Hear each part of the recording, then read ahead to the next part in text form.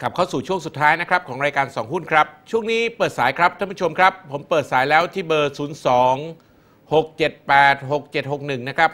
ย้ำเบอร์อีกครั้งนะครับ 02 678 6761 ครับคำถามนะครับ ขอแนวรับแนวต้าน LPN กับ SVI นะครับ LPN LPN นะครับกับ SVI LPN แนวรับ 1750 แนวต้าน 19 นะครับ SVI แนวรับ 4.8 แนวต้านประมาณ 5.4 ครับ สายแรกเชิญครับ สวัสดีครับ ค่ะรบกวนขอแนวต้านของไทยออยล์อะค่ะ กับ AJD อะค่ะ ได้ครับ ขอบคุณค่ะ ไทยออยล์แนวต้านอยู่ 57 นะครับ AJD แนวต้านประมาณ 2 บาทครับ มาดูคำถามต่อนะครับ เอ่อ ไทยแนวโน้มจะดีขึ้นแล้วหรือยัง คือจริง ๆ แล้ว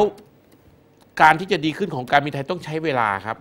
คือมันมีหลายอย่างที่ทุกคนตั้งเครื่องหมายคำถามไว้เยอะ ตัวอุตสาหกรรมเนี่ยผมประเมินว่าดีนะครับ แน่นอนครับ อุตสาหกรรมการบินเนี่ยแข่งขันกันสูง แต่ราคาน้ำมันลงขนาดนี้ครับ และท่านลองดูสิครับ ราคาน้ำมันเนี่ยลงมา 60%ท่านขึ้นตั๋วเครื่องบินเนี่ยถูกลง 60%ไหมฮะท่าลองว่าไม่ ยกตัวอย่างเช่น ท่านเคยนั่งเครื่องบินไปกลับเชียงใหม่ 5,000 บาทเมื่อ 2 ปีที่แล้ว ตอนนี้ท่านนั่งตั๋วเครื่องบิน 2,000 บาทหรือเปล่าครับ เพราะราคาน้ำมันลดลงคำตอบคือไม่ฮะ เพราะฉะนั้นแปลว่าอะไรครับ แปลว่ารายได้ของธุรกิจสายการบินถ้าบริหารอย่างถูกต้องต้องเพิ่มขึ้นนะฮะ เพราะต้นทุนที่เยอะที่สุดของธุรกิจสายการบินคือต้นต้นทุนจากราคาน้ำมัน แต่ปัญหาของการบินไทยเนี่ยมันเจอในเรื่องของโอ้โหระบบระเบียบ หรือเรื่องอดีตเยอะแยะไปหมดฮะอย่างข่าวที่ออกมายกตัวอย่างเช่น ซื้อ forward น้ำมันข่าวออกมานะฮะ ผมไม่รู้ไม่ยืนยันข่าวนี้นะฮะ ถึงปี 59 อย่างเงี้ยนะฮะ การซื้อเครื่องบินโดยผ่านโบรกเกอร์ การจัดซื้อภายในอะไรเงี้ยฮะเยอะแยะหนังสือพิมพ์ก็ลงกันบ่อยนะครับ ถึงแม้คนของการบินไทยหลายส่วนมีคุณภาพนะฮะ หลายส่วนก็ต้องยอมรับเป็นธรรมดาก็คืออาจจะไม่มีคุณภาพนะครับ นี่คือโจทย์ใหญ่ แต่ผมคิดว่าณราคาตอนนี้สมเหตุสมผลแล้วฮะ ไม่ไม่น่าจะถูกกว่านี้แล้วฮะนะครับ เพราะธุรกิจสายการบินน่าจะดีขึ้นมากกว่า บีฟิตถือลงทุน 2 ปีได้ไหมครับ ก็ต้องดูว่าเราเราลงทุนเพราะอะไรครับ ต้องต้องดูเหตุผลนะฮะนะครับ เพราะผมไม่ได้ตามละเอียดเลยครับ IVL TTCL นะครับแนวต้านนะครับ IVL นะครับแนวรับอยู่ 23.50 แนวต้านอยู่ 27 TTCL นะครับ TTCL แนวรับอยู่ 23 แนวต้านอยู่ 28 ครับ อะฝากประชาสัมพันธ์นิดหนึ่งนะครับสำหรับท่านที่ว่างนะครับเสาร์นี้เสาร์ที่ 21 คือเสาร์ที่จะถึงเนี่ยนะครับ9โมงถึงเที่ยงที่สมาคมสิทธิ์เก่าธรรมศาสตร์นะครับ ท่านที่สะดวกนะครับ จะจัดงานจริง ๆ ใช้ชื่อว่าเล่นหุ้นสไตล์สิริวัตรแต่ว่าคนพูดจะมี 3 ท่านนะครับ มีคุณสิริวัตรบริเวศวุฒิกุลนะครับ จะมาพูดเรื่องทิศทางตลาด แง้มนิดหนึ่งนะฮะล่าสุดคุณสิริวัตรบอกว่าหุ้นจะลงไป 1,000 ถึง 1,100 ไม่น่าเชื่อนะฮะผมก็คิดว่ามันไม่น่าจะลึกขนาดนั้น ต้องไปถามเขาฮะเกิดอะไรขึ้น แต่สิ่งหนึ่งที่จะต้องคุยกันก็คือเขาเลือกหุ้นยังไง เพราะคุณสิริวัตรเนี่ยเป็นคนบริหารพอร์ตตลอดนะครับเขาเลือกหุ้นยังไง เวลาเขาลงทุนในตลาดหุ้นไทยนะครับ ส่วนอีกอันหนึ่งโปรแกรมก่อนจะเลิกเนี่ยผมเชิญนักวิเคราะห์พื้นฐานมามีเอกสารแจกด้วยนะครับ ประมาณมากกว่า 40 หน้า เรื่องของเทคนิคการเลือกหุ้นทางปัจจัยพื้นฐานคือเทคนิคการวิเคราะห์งบเนี่ยนะครับ บางครั้งเวลาเราดูงบการเงินเนี่ยเราอาจจะวิเคราะห์ไม่เป็น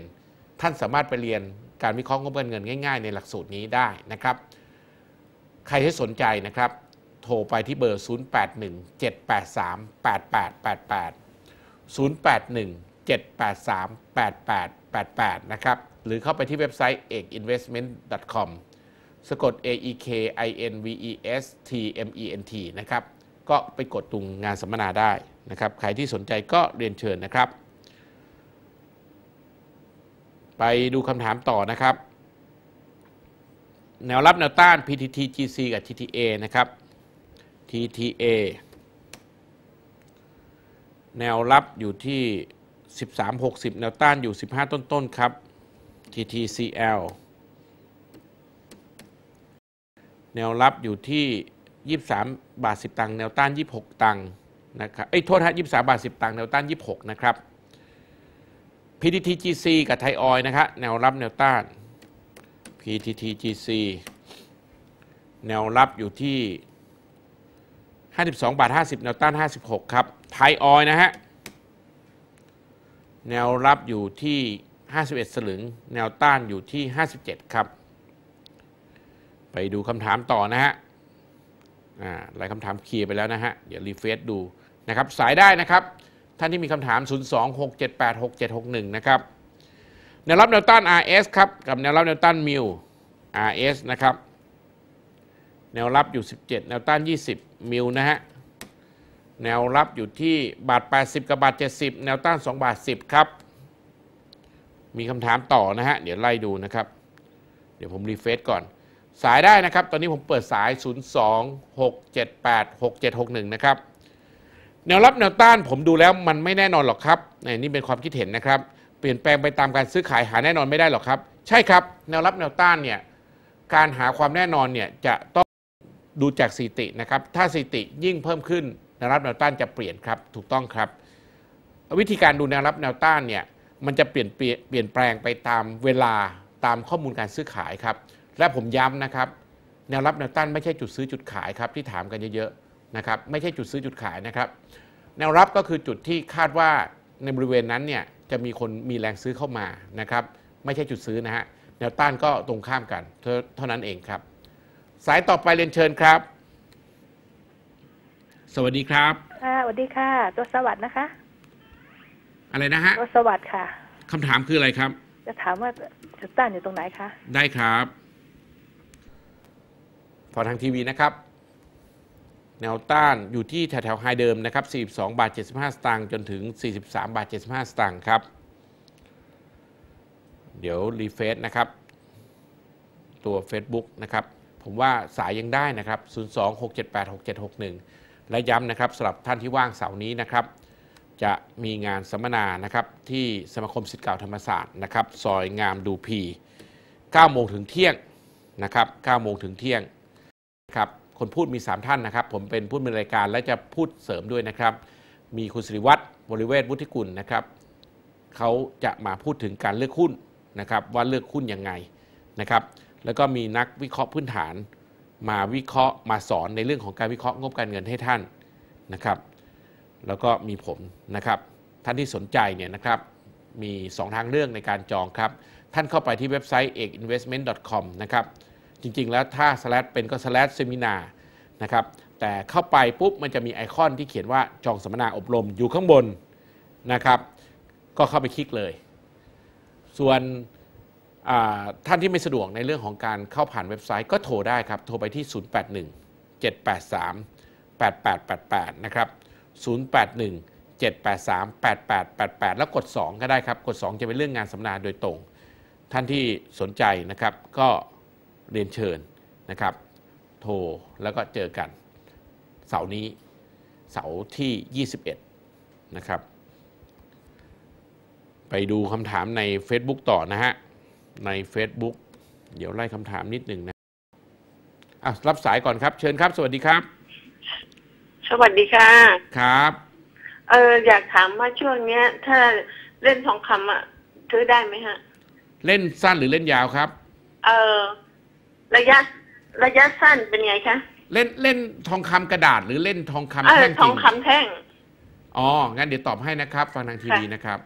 ค่ะคืออย่างนี้ถ้าทองคำแท่งจริง ๆ แล้วซื้อเก็บหลาย ๆ ปี ผมว่าราคาถ้าคิดเป็นเงินบาทเนี่ยนะฮะหมื่นเจ็ดกว่าๆเนี่ยไม่แพง ใจผมเนี่ยอยากได้ทองคำโลกเนี่ยแถวๆหนึ่งพันหนึ่งร้อยแต่ตอนนี้มันประมาณ1,150แต่ผมก็ถือว่าใกล้เคียง ถ้าได้แถว1,100เนี่ย ผมว่าโอเค นะครับเพราะฉะนั้นถ้าเปรียบเทียบกับมาเนี่ยมันก็แถวๆทอง 1 บาท สักประมาณ 1 7ื่นแต่1 7ื่นอาจจะไม่ถึงเป๊ะไงฮะนะครับแต่ต้องถือซื้อถือยาวนะฮะซื้อแล้วหวังหวังรวยทันทีระยะสั้นคงไม่ไม่ไม่เกิด สายต่อไปเชิญครับ สวัสดีค่ะ ครับผม จะถามเอเอโก้ค่ะ ไฟฟ้านะคะ ครับ แนวรับแนวต้านค่ะ ได้ครับ ขอบคุณค่ะ EGCO นะครับ ผลิตไฟฟ้า แนวรับนะครับอยู่ที่ 147.5 แนวต้านอยู่ 55นะครับ ก็ยังไม่มีอะไรครับ วันนี้ก็เพิ่งฟื้นตัววันแรกนะครับอะชัดเจนนะครับ วันนี้ตลาดหุ้นรีบาวค่อยชั่วหน่อยนะครับ แต่ส่วนใหญ่ก็ยังไม่ได้มองว่าเป็นขาขึ้นนะครับ ก็ยังรอได้ ส่วนงานสัมมนาอย่าลืมนะฮะ 081783 8888เอ้า สายสุดท้ายค้างอยู่ฮะ เชิญครับ ค่ะ ขอทราบแนวรับแนวต้านของ ITD ค่ะ ได้ครับ ITD นะฮะ แนวรับอยู่ที่7บาท35 แนวต้านอยู่8บาท50 ครับ นี่พูดถึงช่วงสั้นเท่านั้นนะครับ เวลาหมดจริงครับพบกันใหม่นะครับ วันพรุ่งนี้นะครับ